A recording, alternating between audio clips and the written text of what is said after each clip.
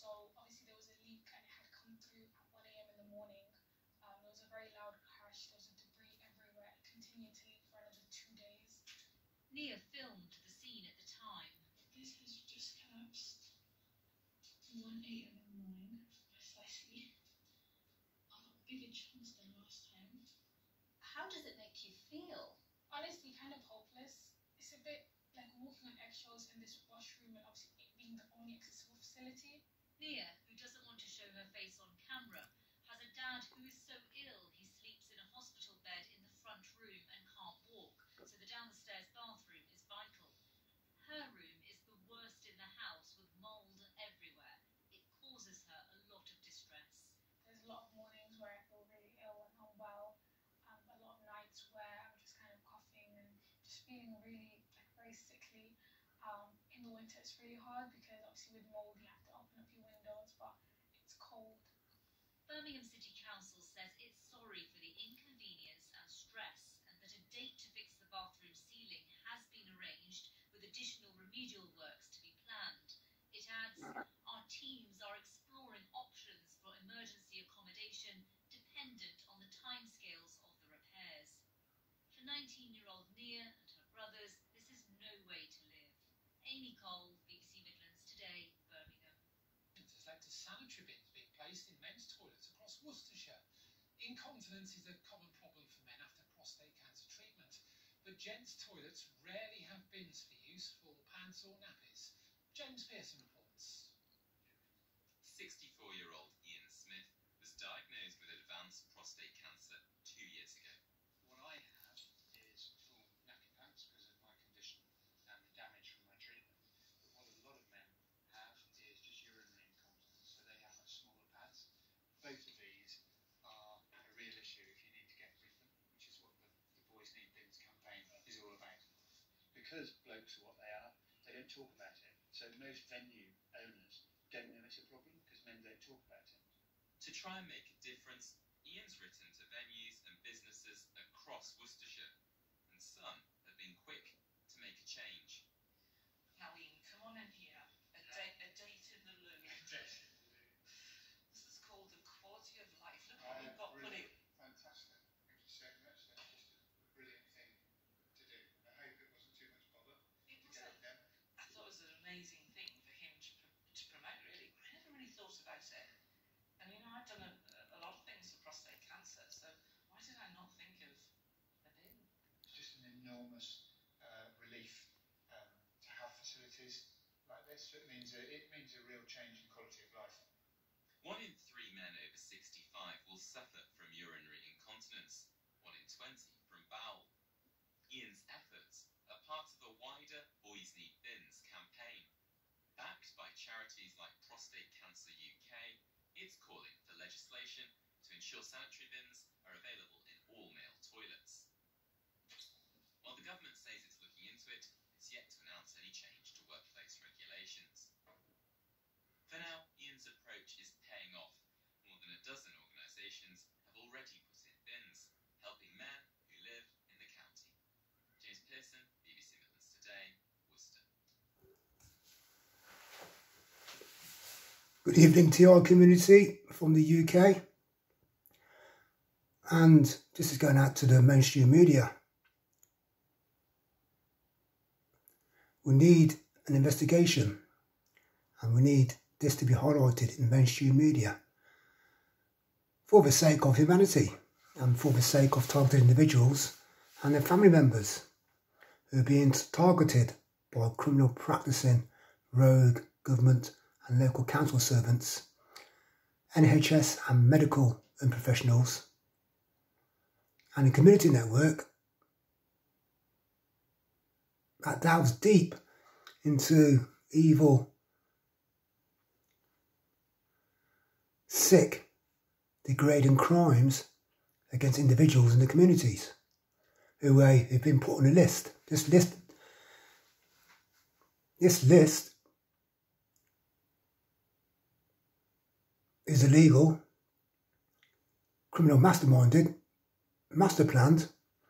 By the powers that be, and everyone who's on this list is under OTT surveillance monitoring and human experimentation. And the human experimentation side of it all it says it's just degrading evil intent to cause neurological, psychological damage to, tar- to target individuals and their family members' brains, sabotage their everyday life, and target them for the medical and healthcare industry.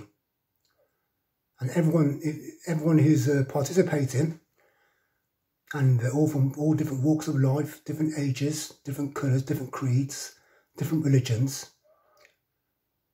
These evil individuals will do anything for money. And what they're doing, they're, they're grotesque crimes against humanity. Going out intentionally to do harm, grievous bodily harm, on the individuals they've listed. And then the network has rogue and professional social workers, local hospital workers, and those who work in the mental health and anti care home sectors. Between them all, it's major conspiracy.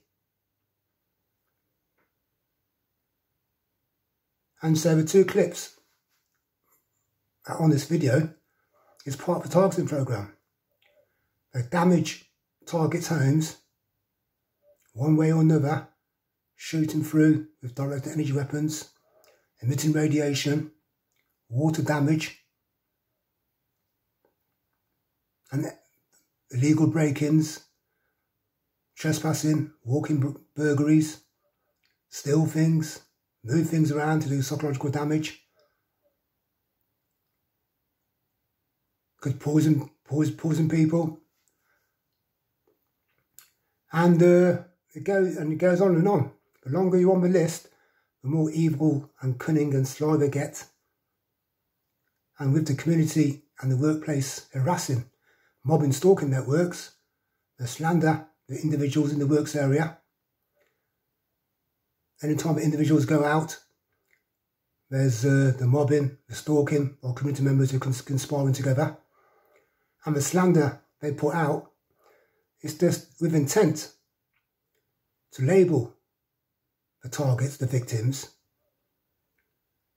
and it's constant surveillance monitoring, stroke clinical close-up non-consensual research studies. And under medical and healthcare abuse, some are put into non-consensual medical research which this day and age, the technology they've got consists of body area networks, stroke, medical body area networks, stroke, wireless body area networks, while many also listed for brain experiments, which, which in today's times is remote neural monitoring brain computer interfacing. Now, from my experiences, what's been happening to me and my family, I've had the water damage done up to four times, two in my old property, two in this property. And it's a rented accommodation from Housing Association. I've had walking burglaries, trespassing done, things going missing. And more evil, I've had the emitting radiation done on me in my old property. I don't know how long this has gone on for. Nearly 20 years since May 2004. Emitting radiation consisting of dirty electric, how the property's wired up,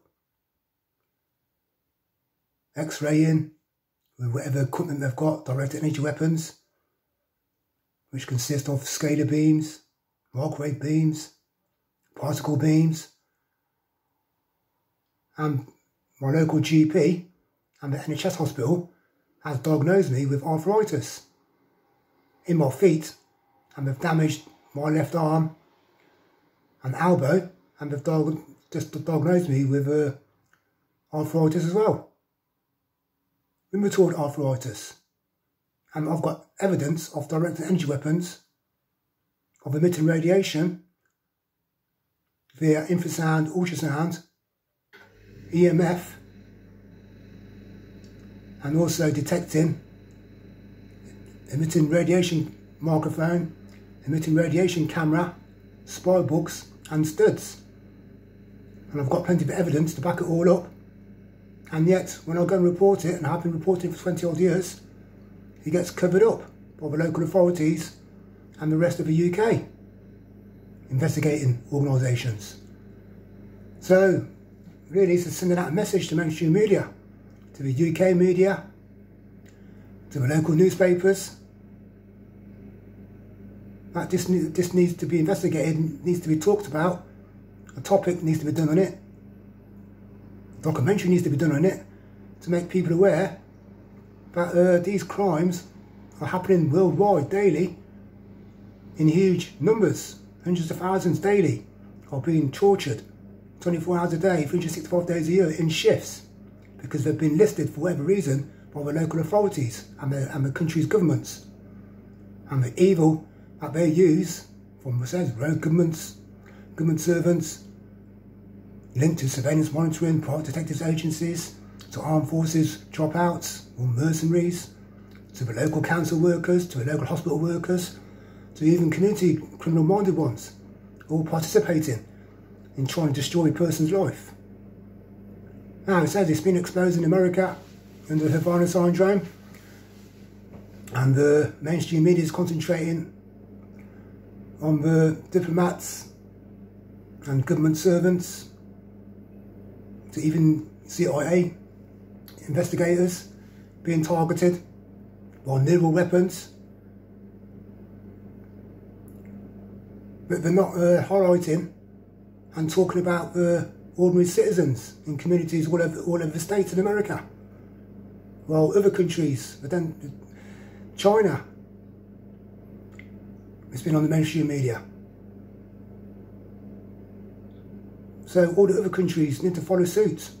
We need to, we need to make people aware these crimes are a pandemic. There's loads of evil in our communities doing shifts on ordinary citizens who are not criminals, not participating in crime. And they're targeting not only me, my mother, my brother, who've been radiated, who had neural weapons aimed at them and being tortured by them. Okay, to a directed energy weapons, damaging their bodies, their eyes, their brains, and I want a major, major investigation by the West Midlands Police Force, the Coventry Police, NHS England, and investigate healthcare conspirators, social workers that they're networking to. Yes, it's so obvious. I, I, I've experienced so much atrocity by the council authority that uh, I want them struck off and I want them imprisoned. The main perpetrators who are hiding in the offices of social services, hiding in the psychiatrist's office, hiding in healthcare offices, hiding in the NHS hospital, and hiding at home, watching me and my family getting tortured. And something needs to be done about it. So as, to, as a targeted individual community member, I want the UK government to investigate these crimes and bring it to the mainstream media's attention.